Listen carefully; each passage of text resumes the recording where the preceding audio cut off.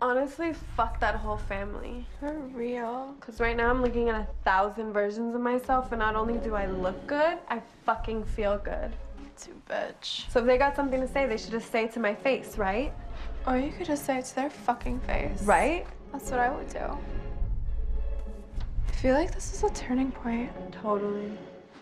We should just pick the hottest, most confident, bad bitch version of ourselves and be that for the rest of the school year. Yo.